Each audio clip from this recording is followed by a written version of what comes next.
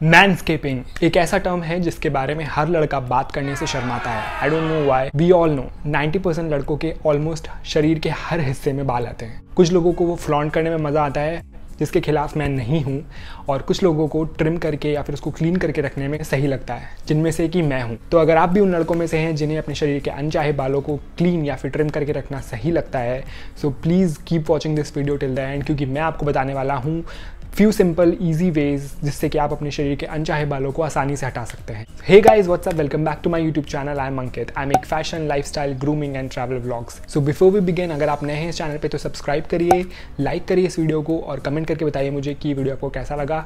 And without wasting much time let's get started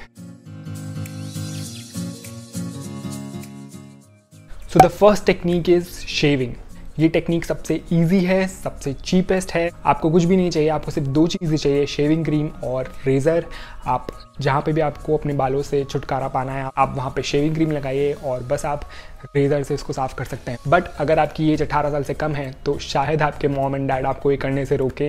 and मैं भी आपको सलाह नहीं दूँगा कि आप शेविंग करिए, क्योंकि आप अपने आप को चोट पहुँचा सकते हैं और आपके शरीर पर कुछ कट ऐसे आ सकते हैं जिससे कि आप रिग्रेट करेंगे बाद में। So I would not suggest you कि आप शेव करिए अगर आपकी एज अठारह साल से कम है। तो आप देखते हैं कि शेविंग करने के प्रोज क्या हैं। आपके शरीर के सारे बाल गायब हो जाते हैं, ये सबसे ईजी है, सबसे चीपेस्ट है, मगर इसके कॉन्स ये हैं कि आपके शरीर के बाल बिल्कुल साफ़ हो जाते हैं, जो कि लड़कियों को शायद नागवार गुजरे, क्योंकि लड़कियों को एकदम चिकने लड़के बिल्कुल अच्छे नहीं लगते हैं। और इसका दूसरा कौन है कि जब आपके शरीर में शेविंग करने के बाद बाल उगते हैं, जैसे कि अगर आप चेस्ट पे पहली बार शेव कर रहे हैं तो आपके अगर जो बाल की ग्रोथ होगी, उसमें आपको काफ़ी इचीनेस महसूस होगी। अगला तरीका है कि आप अपने बालों को ट्रिम कर सकते हैं। ट्रिमिंग सबसे ईजी सबसे सेफेस्ट मेथड है, जिससे कि आप अपने शरीर के अनचाहे बालों को हटा सकते हैं। मैं प्रेफर करता हूँ ट्रिमिंग करना ही। आप कोई भी इस टाइप का ट्रिमर ले सकते हैं, जिसमें कि आप ब्लेड की लेंथ को आप सेट कर सकते हैं। ये बहुत ही अच्छा तरीका है। ये तरीका सबसे बेस्ट काम करता है जब आपको अपने हाथ के या फिर पैरों के बाल को हटाना है, क्योंकि आप नहीं चाहते हैं कि आपके हाथों में से सारे बाल गायब हो जाएँ तो आप दो या तीन नंबर पे सेट करके बालों को ट्रिम कर सकते हैं। आपके शरीर पे बाल रहेंगे भी बट वो इतने ज़्यादा नहीं रहेंगे and they will look subtle और जिनकी एज 18 साल से कम है, वो ट्रिमिंग यूज़ कर सकते हैं। बिकॉज़ ट्रिमिंग से बहुत ही कम चांसेस हैं कि आप अपने आप को नुकसान पहुँचा सकते हैं। मैं पर्सनली भी ट्रिमिंग यूज़ करना पसंद करता हूँ।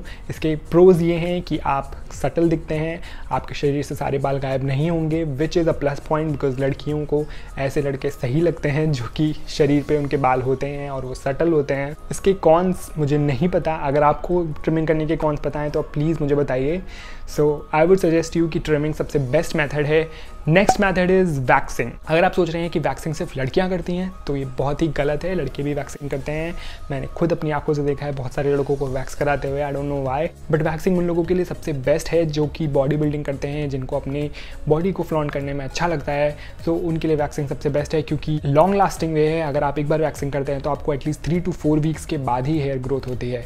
इसके कॉन्स ये हैं कि आपको पेन बहुत ज़्यादा होता है, क्योंकि वैक्सिंग में आपके बाल जो होते हैं, वो एकदम जड़ से निकल जाते हैं and that gives you a lot of pain और अगर आपका बजट बहुत ज़्यादा है या फिर आप कुछ अलग ही लेवल पे जाना चाहते हैं तो आप लेज़र टेक्निक भी अपना सकते हैं। आजकल बहुत सारी लेज़र सैलॉन्स खुल गए जहाँ पे आप शरीर पे लेज़र टेक्निक यूज़ करके अपने अनचाहे बालों को छुटकारा दिला सकते हैं। मैंने एक और वीडियो बनाया हुआ है कि ऐसे पाँच कौन से बॉडी पार्ट्स हैं जिन पे कि आपको शेविंग नहीं करनी चाहिए।